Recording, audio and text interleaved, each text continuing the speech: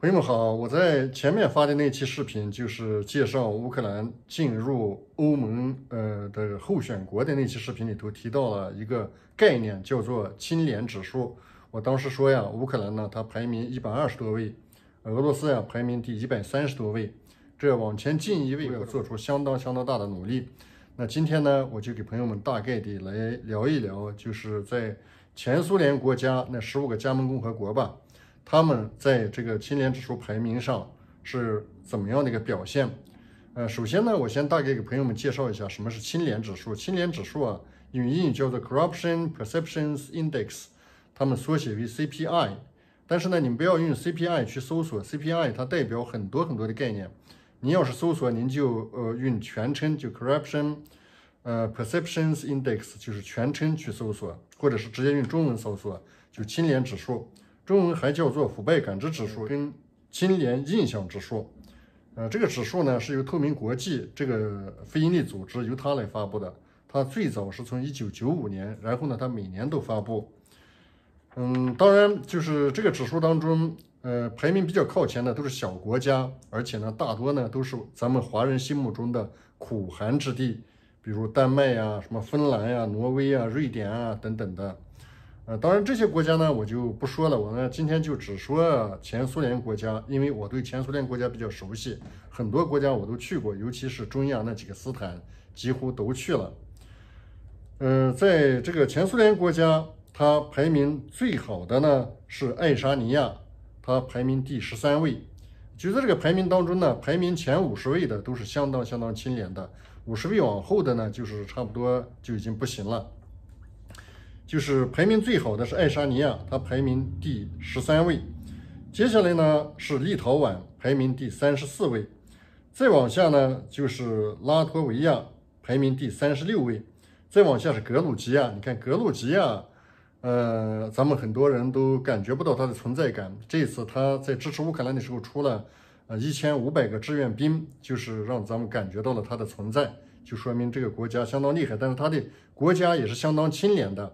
就是呃，在最新被欧盟接受为呃这个欧盟这个候选国的三个国家当中，它是最清廉的。它的清廉指数排名呢，呃，就是在整个全世界排名是第四十五位，也在第五十位前面。当然，在前苏联它是排名到就前苏联国家它排名到前五名去了。这个格鲁吉亚完了呢，就是亚美尼亚，亚美尼亚也不错，是第五十八位。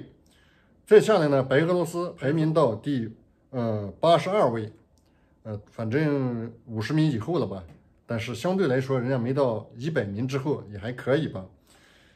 这个白俄罗斯完了呢，就是摩尔多瓦，也就是刚刚被欧盟接受为这个候选国的，它是排名第一百零五位。呃，再往下呢就是乌克兰了，它排名第一百二十二位。再往下就是阿塞拜疆，排名为一百二十八位。再往下就是俄罗斯，它排排在一百三十六位。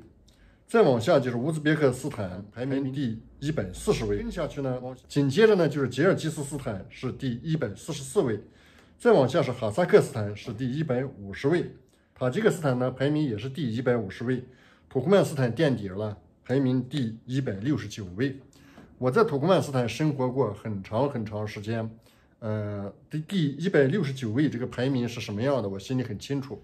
呃，然后我再把这个就是整体的我的印象给朋友们说一下吧。就是这个呃青年程度，我觉得就是相对来说，基督教国家普遍的呃要比非基督教国家要好一些。你说沙特，呃或者科威特，或者是阿联酋，他们都是相当相当富裕的。他们那些国民的富裕程度，甚至超过了北欧的丹麦啊、芬兰呐。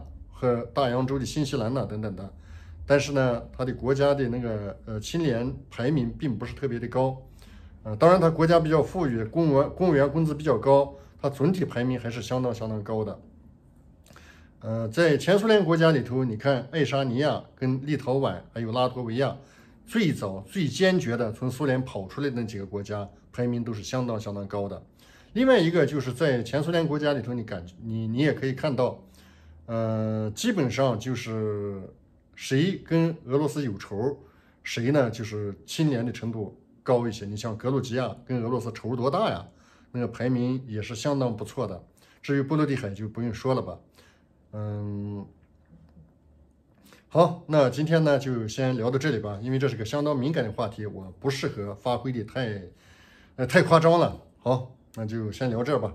感兴趣朋友们呢，就去百度或者翻墙到谷歌里面去找，然后你们很容易就找到很完整的资料了。谢谢，再见，拜拜。